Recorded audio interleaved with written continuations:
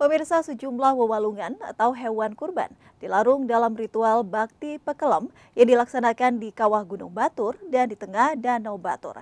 Serangkaian karya Malik Sumpah Agung, Gane, Melaspas, dan Mupuk Pedagingan, sebuah objek wisata air di Kintamani, Bangli. Prosesi ini bertujuan selain sebagai ungkapan syukur, sekaligus untuk memohon keselamatan dan kemakmuran alam semesta beserta isinya.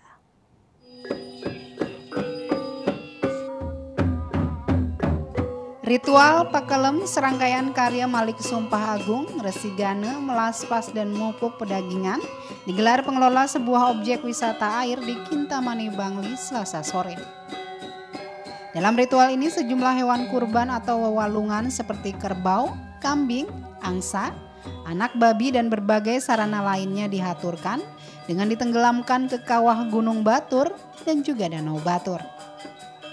Menariknya dalam prosesi yang digelar di Danau Batur, Wawalungan dilarung menggunakan jukung atau perahu untuk kemudian ditenggelamkan sebagai ungkapan syukur atas anugerah yang telah dilimpahkan Ide Sang Yang Widiwase. Diiringi gamelan khas Bali, rangkaian prosesi karya juga dimeriahkan sejumlah pementasan tari sakral seperti tari rejang, tari baris, hingga topeng sidekarya. Karya ini dipuput lima sulinggi dan dihadiri sejumlah tokoh masyarakat dan ratusan umat di wilayah sekitar.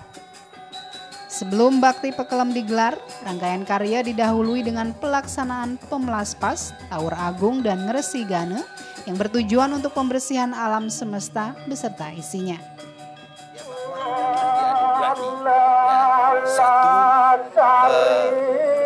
katakanlah satu kesejahteraan. Nah, ini juga merupakan sebagai bagian daripada ungkapan rasa terima kasih kita sebagai umat. Di akhir upacara, seluruh umat melaksanakan persembahyangan bersama yang bertujuan untuk memohon keselamatan dan kemakmuran alam semesta beserta isinya. Dari Bangli, Ari Wiradharma MNC Media melaporkan.